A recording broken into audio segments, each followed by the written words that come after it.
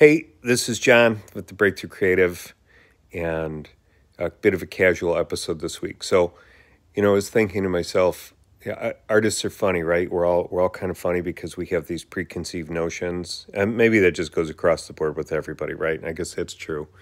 Everybody around the world has preconceived notions, but artists have. It seems like we silo ourselves into what we do, um, and and I guess by that I mean we have an idea about the kind of art that we want to do, and maybe there's some romance attached to that like this is the kind of art i can do and this is all i want to do or this is all i can do.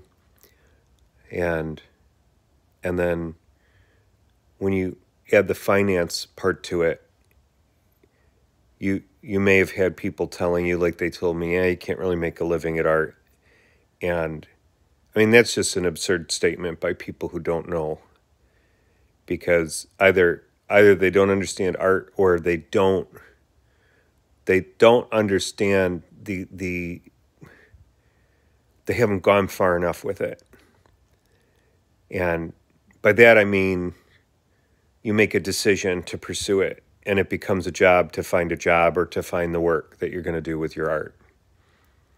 It's really really simple but it's not necessarily easy and you know, I've had lean times in my business and I've had fantastic times um, from, from the time I was 18 up until today. And, and so I, I would say it's a decision. You've got to decide what you're going to do.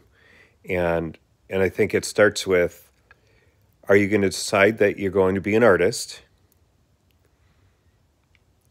And what does that mean? Are you going to decide on on how you're going to earn your living, uh, and then I guess what comes out of that is is if you decide that you're going to be an artist and you're going to make a living from your art, then you got to take a look at the, the places where you can help people. You can decide to help people and companies with your skills. And and so I have no problem with anybody in, in any of those lanes that I just threw out there.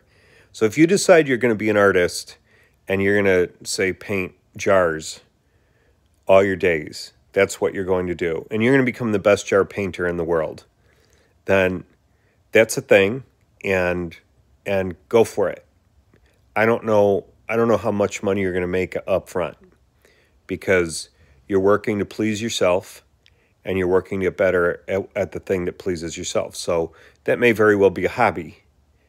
Um, or you may, as the best jar painter in the world, you may find that that there's some people out there who want your jars, and fantastic.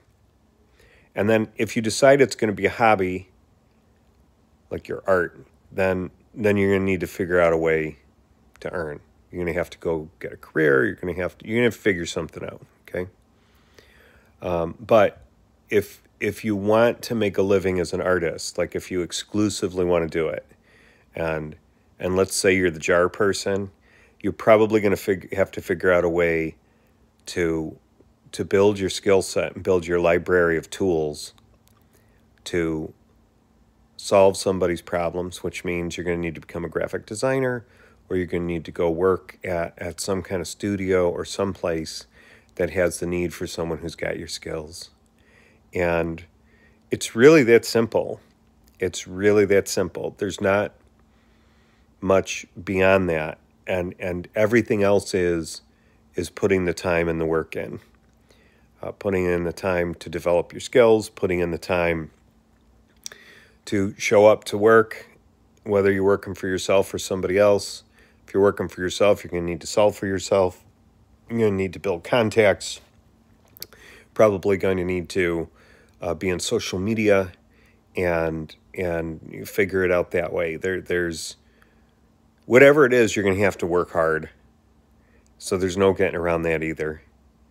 So I wonder how often we think about this as as creatives because it's easy to focus on the part that you really love and and it takes uh, discipline and sacrifice to focus on the business side of things. It even takes discipline and sacrifice to to go, hey, I'm really good at painting jars. I don't like to paint elephants, but but there's there's money in elephants. Let's say you find out wherever you're at. And now you got to decide are you going to make the sacrifice to learn that? So so anyway, I guess that's just kind of how my mind works, you know, when I think of of the lanes that I've chosen uh, because you know I've wanted to own a house, I've wanted to have a family, I've wanted to have kids and be able to afford things and have a car and be able to pay for fifty dollar tank of gas now, and and I like people and I want to help people, and I want to keep working, and I want to keep working at drawing and painting and creating. So, so anyway, that's it. Short episode. Um, Hope you guys are doing well through this season. It's a really weird season, really super weird season of life. I've never I've never been through a, a period like this in my life, and I'm sure you, you haven't either. But if you're wondering, if you're younger and you're like, has this ever happened before? Nope, this is weird stuff. So hope you're doing well, and keep going after it. Okay, it's hard work. Nobody can do the work for you. You've got to go do the work. Okay, all right. I'll see you next time. Cheers.